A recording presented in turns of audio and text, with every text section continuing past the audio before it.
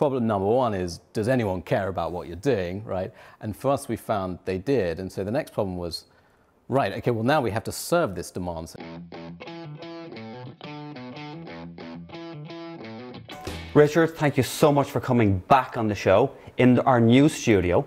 We had you on last time, we were talking about your company, Juro, which is your contract management company. And a lot had happened then where you just closed a round of $2 million. And now you're going to tell us how you spent it all. Yeah. Well, New cars I- and apartments and I lot. just took it straight into my personal bank account. Oh, Yes. brilliant, yeah. And you're Yeah. retired now.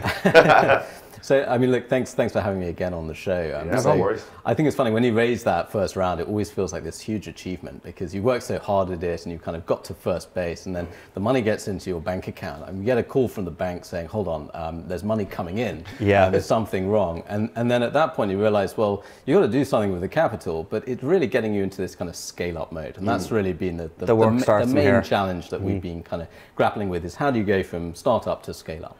When you when you went to, to raise that money, obviously you need a scale up plan, right? You need to we need this two million dollars because you have to go from here to here, and here's our plan for going here to here. Did you stick to that plan, or when you got the money in, was it oh, okay? Let's do something a it. Yeah, I mean, what's the phrase? Planning is uh, essential but ultimately useless, right? So I think this is a truism in, in startups because you, you've got to have some hypotheses, right? You've got to have an idea of where you want to go. And of course, you can't really be compromising on the vision of the company. But the kind of day to day reality, I think, is you're making a lot of micro decisions, right? And those Yeah. decisions tend to relate to, well, am I going to hire this person or this person? And, and what's, what's the right strategy for our, our sales and marketing teams, for example? So you kind of get into the, into the, the nitty gritty. And as you do, of course, you realize more and more that you don't know anything. Uh, and so you kind of make some mistakes along the way. And you just hope that you're making kind of 80% of the right decisions to get you ultimately to the, to the end goal. what are some of the mistakes that you, you made yourself? Got so many. Uh, where, where to start? Um, so I, I think um, you know when you're at the seed stage, you're still trying to really get to product market fit, right? So Yeah. you're trying to find, you know, is there someone, anyone who will find this platform useful and have willingness to pay for it, right? And so when you get into the first kind of batch of customers, I think the main thing we learned is we, we got customers very quickly in the customer's life cycle. And so we found once we got them on board, the next question was, okay, well, we've got a handful of these customers, but you know, what's the universe of customers like those guys that we can kind of quickly scale mm. to? And so we spent a lot of time experimenting around that. You know, ultimately we tend to sell to tech businesses. We sell to businesses who are processing lots of contracts.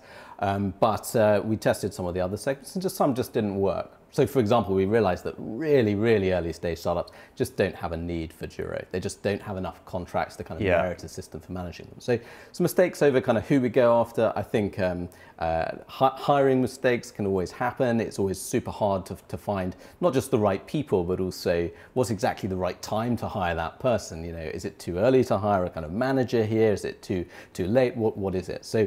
I think a couple of mistakes around around that, but we, we've been lucky, and I think for the most part, we've kind of gradually gone towards our, our goal. So you acquired some pretty big customers since the last time we spoke, some huge names in the business.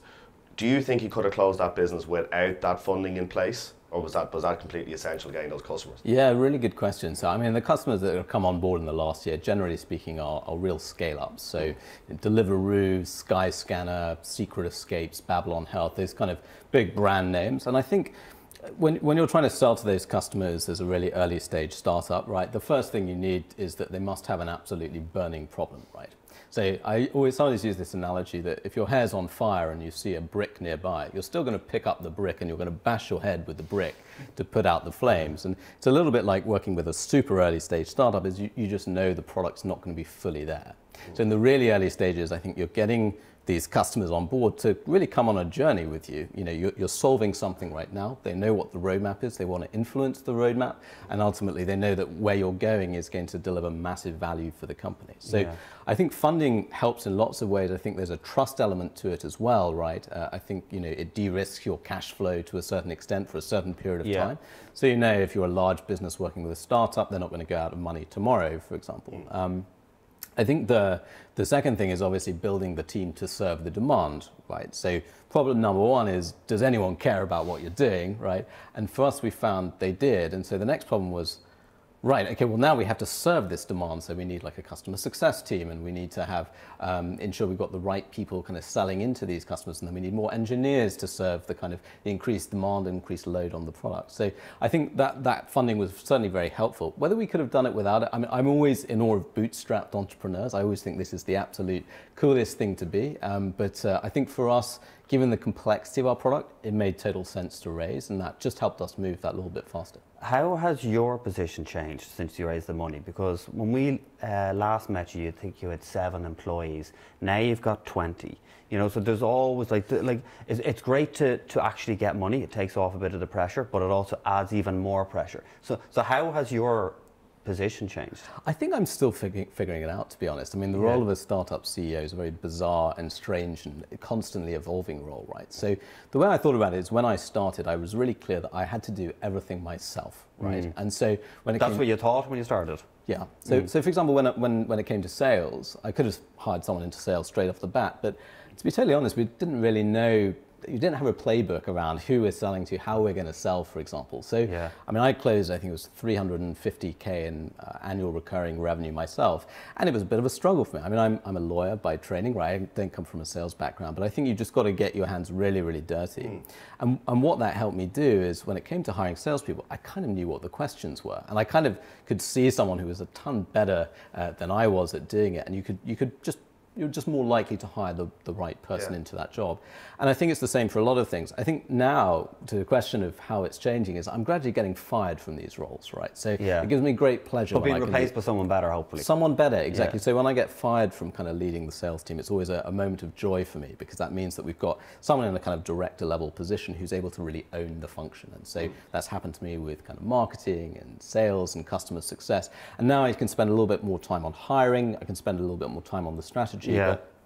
I still spend, I mean, just day to day, an absolute ton of time with customers. I mean, I, a couple of weeks ago, we were kind of counting up the meetings. I think it was 17 meetings in the week with either customers or prospects.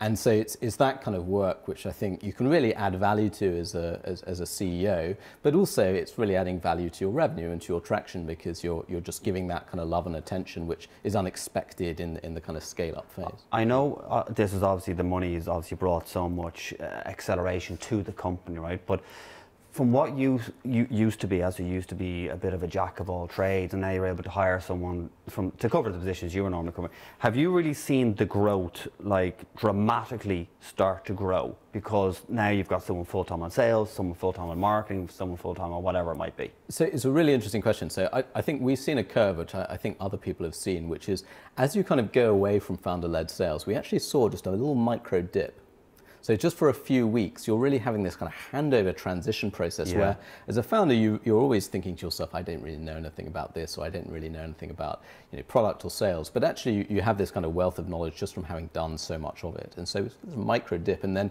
you see the acceleration curve where you realize actually they are way better than you at doing that thing. It just takes a bit of time, and I think one of the hard things when you're in the kind of startup stage is you can't really afford to kind of be scaling things. You should really be doing things that don't scale.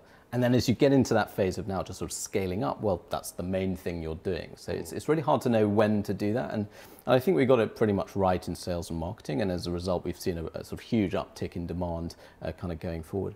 For the founders that are watching the show, right, do you think you have a higher level of respect from the customer success team, the salespeople, the marketing team, the fact that you did it. You, you so they can't turn around and say, you don't understand, you didn't do what, mm. I, what I'm doing. So, you know, I did in the beginning when it was actually tougher.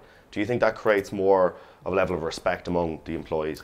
I, would like to think so. I mean, I think you've got this kind of balance right. On the one hand, founders are famously micromanagers, right? And they're typically micromanagers because they've had to do everything themselves, and all of a sudden, someone else comes in and they've got a different way of doing things. So you have to kind of force yourself, I think, as a founder, to just kind of take a step back and really trust uh, the people and the leaders in the organization that you've hired to do that.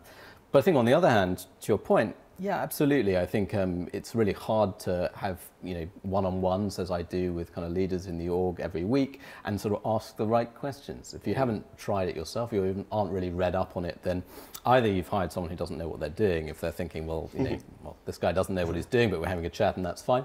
But ultimately, I think for really, really good hires, really good people in, in the industry. They, they want to work with people who really get what they're doing. So an example is customer success, which is you know, really quite a new field, um, very used now by B2B B2B SaaS, but it's quite a big step change and it's got to be organizational and it has to be you know, led by the CEO and you have to have that buy-in. So you kind of got to get it right. And, and then the other thing you feel is, because there's so much to do even though we're still relatively small. And, and I think there's just kind of no excuse at this stage for getting it wrong. Uh, and you know, it's quite easy to say, oh, well, we'll sort this out when we're at 50 people or 100 people.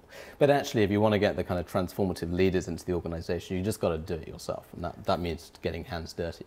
Richard, thank you so much for coming on the show and thank you for talking to us about scaling up. Thanks for having me, guys. Thank you. Cheers.